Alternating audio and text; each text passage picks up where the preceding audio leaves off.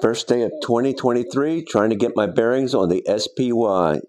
Price action looks like it's going nowhere. MACD and the RSI look like it's going up.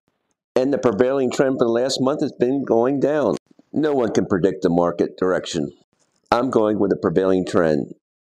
Predicting SPY these first days of the trading year is going to be difficult. Good luck. Happy trading.